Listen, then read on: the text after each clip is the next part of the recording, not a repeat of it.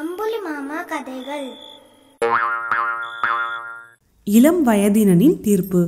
காசி மன்னன் இறந்தப்போ அவனோட மகனுக்கு ஏழு வயது தான் ஆனது. அந்த மன்னன் கிட்ட வேலை பார்த்து வந்த சந்தன்கிறவன் இனி தனக்கு யாரும் வேலை கொடுக்க மாட்டாங்கன்னு நினைச்சு தன்னோட ஊருக்கு போயிட்டான். அவன் அங்க தன்னோட சிறிய நிலத்துல விவசாயம் செஞ்சு சந்தோஷமா வாழ்ந்து வந்தான். அவன் ரொம்ப நல்லவன். பொய்யே பேச மாட்டான் அதனால அந்த ஊர்ல உள்ளவங்களுக்கு அவனை ரொம்ப பிடிக்கும். ஒரு நாள் அவனோட எருதுகள் நோய்வாய்ப்பட்டுருச்சு. அதனால் அவன் வயலில் வேலை செய்ய ஜெகன்கிற தன்னோட பக்கத்து வீட்டுக்காரன் கிட்ட அவனோட எருதுகளை இரவலாக கொடுக்கும்படி கேட்டான். அவனும் அதுக்கு வாடகையாக ஒரு படி அரிசி வாங்கிக்கிட்டு தன்னோட ரெண்டு எருதுகளையும் கொடுத்தான். தன்னோட வயலில் வேலை முடிஞ்சோன்னே அன்னைக்கு சாயங்காலமே தான் இரவல் வாங்கின எருதுகளோட ஜெகனோட வீட்டுக்கு போனான். அங்கே ஜெகன் படுத்து கண்ணை மூடிக்கிட்டு இருந்தான். அதை பார்த்த சந்தன் அவன் தூங்கிக்கிட்டு இருக்கிறதா நினச்சி அவனை எழுப்பி தொந்தரவு பண்ண வேணான்னு எருதுகளை ஜெகனோட தொழுவத்தில் கட்டிட்டு போனான் ஜெகனும் அதை பார்த்துக்கிட்டே படுத்திருந்தான் ஆனால் அன்னைக்கு இரவே யாரோ ஜெகனோட எருதுகளை திருடிட்டு போயிட்டாங்க. அந்த விஷயத்த காவல் அதிகாரிகிட்ட புகார் செய்யலாம்னு நினைச்சான் ஆனா மறு நிமிஷமே அவனுக்கு ஒரு அபூர்வ யோசனை தோணுச்சு. அதனால அவன் புகார் செய்யல. மறுநாள் சந்தன் ஜெகன் கிட்ட எருதுகளை இரவல் கேட்க வந்தான். அப்போ ஜெகன் நேத்து நீ ஓட்டிட்டு போன எருதுகளை நீ என்கிட்ட ஒப்படைக்காம மறுபடியும் கேட்டா நான் எப்படி கொடுக்க முடியும்னு அப்பாவி மாதிரி கேட்டான். சந்தனோ நேத்து மாலையே நான் உன்னோட எருதுகளை உன்னோட தொழுவத்துல கட்டிட்டு போனேனே அப்ப நீ தூங்கிக்கிட்டு இருந்தேன்னு சொன்னான். ஜெகனோ நீ பொய் சொல்ற என்னோட எருதுகளை யாருக்கோ வித்துட்ட. ஒண்ணு எனக்கு அந்த பணத்தை கொடு இல்லைனா என்னோட எருதுகளை கொடுன்னு சொன்னான். சந்தன் தான் எருதுகளை அவனோட தொழுவத்துல கட்டிட்டு போனதா மறுபடியும் சொன்னோன்னே ஜெகன் இல்லவே இல்லைன்னு சொல்லி ஊர் பஞ்சாயத்துக்கிட்ட புகார் செஞ்சான்.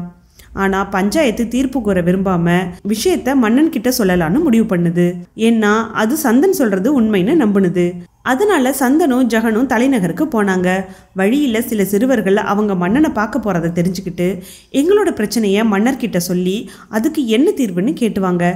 நாங்கள் முன்பெல்லாம் அதிகாலையில் எழுந்துக்கிட்டு இருந்தோம். இப்போ அப்படி எழுந்திருக்க முடியல. இது ஏன்னு கேளுங்கன்னு சொன்னாங்க. ஜெகனோ அதெல்லாம் கேட்க முடியாதுன்னு சொன்னான். சந்தனோ தான் மன்னன் கிட்ட அதை சொல்லி அதுக்கு என்ன காரணம்னு கேட்டு அவர் சொல்றத அப்படியே உங்ககிட்ட சொல்றேன்னு சொல்லிட்டு அரசபைக்கு போனான். இளம் வயதினனான காசி மன்னன் பழைய வேலையாளான சந்தனை அடையாளம் தெரிஞ்சுக்கிட்டான். ஜெகன் கிட்ட மன்னன் புகார சொல்லும்படி சொன்னோன்னே அவனுக்கு உதறல் ஏற்பட்டுச்சு. ஏன்னா மன்னனுக்கு சந்தனை பத்தி நல்லா தெரியும். அவன் பொய் சொல்ல மாட்டானோ தான் சொல்றது தான் பொய்யுன்னு கண்டுபிடிச்சிடுவான்னு நினைச்சு பயந்தான்.